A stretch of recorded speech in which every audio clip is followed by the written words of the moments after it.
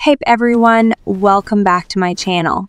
Today we're going to be confronting my ex-boyfriend Kyle Traverse about his behavior towards me even after we broke up months ago. Joining me are my siblings Clara, Troy, and Charles. We're going to be having this conversation over PlayStation Party voice chat.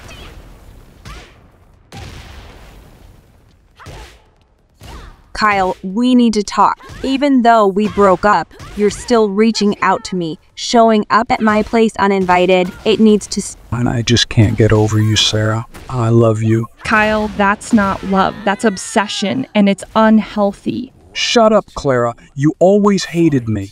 That's not the point, Kyle. The point is you're not respecting Sarah's boundary. Kyle, we're concerned about your behavior.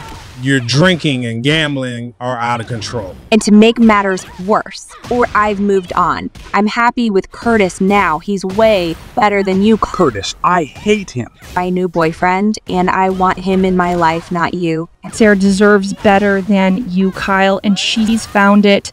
Yeah, Kyle, you're just a toxic waste of space. Leave Sarah alone. Kyle, listen to us. You need help. Your behavior is destructive. No, I don't need help. I just need Sarah. And I want her to come back to me, not be with. Kyle, I'm done. I want nothing to do with you. Curtis is my future, not you. Fine. You think you're so much better than me. You think Curtis is better than me? Kyle, this isn't about being better or worse. It's about Sarah moving on and finding happiness. Shut up, Clara. You don't know anything. That's it, Kyle. You're going to respect our sister and our family. Kyle, stop talking to Claire like that. No, I won't stop. You can't control me. Kyle, Sarah, please. no, Kyle, goodbye.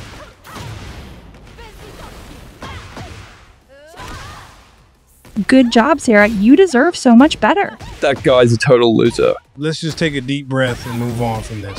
Thanks, guys. I'm just glad that's over. We're always here for you, Sarah. Yeah, sis, we've got your back. Always. I love you all too. Sarah, are you okay? That was really tough. Yeah, I'm okay. I just needed to stand up for myself.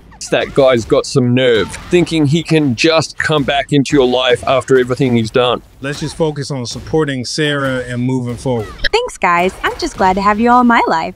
Thanks for watching, everyone. I know that was a tough conversation to listen to, but I'm glad we could finally confront Kyle about his behavior. We're always here for you, Sarah. Yes, we've got your back. Oh, always.